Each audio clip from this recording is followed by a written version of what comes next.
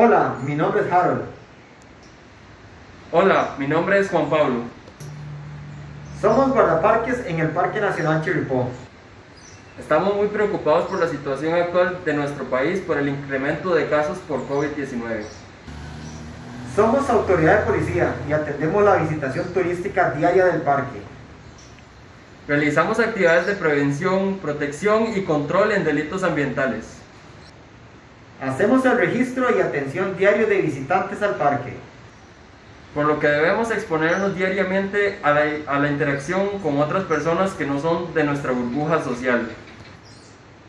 A pesar de que nuestra institución ha hecho la solicitud formal para que se nos incorporen los grupos de vacunación, hasta el momento no estamos vacunados y tampoco estamos en los grupos a vacunar.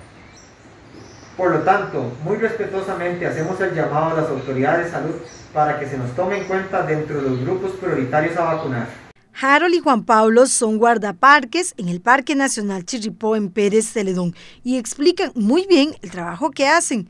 Y es que esos funcionarios, a pesar de las labores que tienen, no forman parte de ningún grupo de vacunación contra el COVID-19. Ellos manifestaron su preocupación. Edison Romero, es importante que nos vacunemos para proteger nuestras familias y las personas que nos visitan. Por este medio queremos solicitar a las autoridades correspondientes que nos incluyan dentro de la vacunación este, contra el COVID-19. Eh, nosotros estamos en una situación bastante complicada, atendemos mucho público, turistas, también interactuamos con muchas personas, por lo que vemos necesario este, que se nos incluyan, tanto así para protegernos nosotros, y así como también a las demás personas.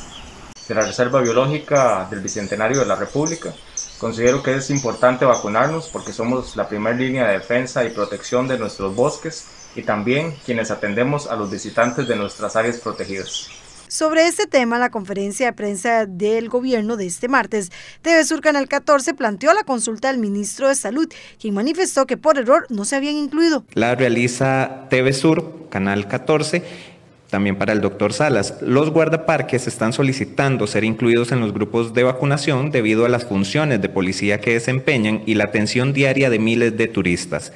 Han analizado esta situación e incluirlos debido al riesgo que tienen todos los días.